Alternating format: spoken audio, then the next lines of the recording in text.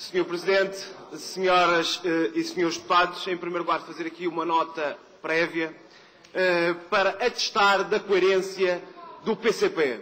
Ou seja, o PCP veio aqui a esta casa dizer que é necessária a contratação de pessoas para a GESBA. Nós não discordamos, se existe uma falta, contrate-se. Mas, quanto aos 3 mil postos de trabalho no Sítio Internacional de Negócios, aí já não há problema. Podemos encerrar o Centro Internacional de Negócios, mandar 3 mil pessoas para o desemprego, aí já não há problema. Atestamos bem a coerência do Partido Comunista, ou seja, existem trabalhadores de primeira e trabalhadores de segunda.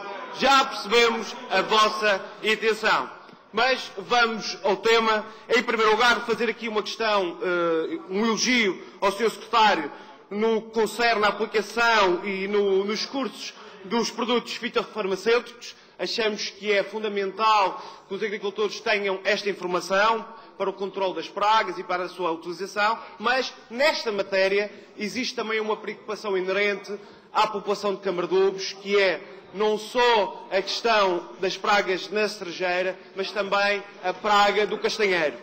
É com preocupação que vemos estas alterações nas nossas culturas, é com preocupação que vemos uh, estas pragas, tanto na castanha como na cerejeira, são produções importantíssimas para o Conselho de Câmara de Lobos e já sabemos da, da, intenção do Governo, sabemos que os técnicos estão a trabalhar no terreno, e bem, mas queria que o Sr. Secretário reforçasse quais são os planos de ação, o que é que está planeado nesta matéria para que possamos mitigar este problema e ajudar, no fundo, os nossos agricultores e também a nossa paisagem, obviamente. Obrigado. Uh, relativamente uh, às pragas, aos fitofármacos, nós evidentemente fizemos uma formação em toda a região autónoma da Madeira.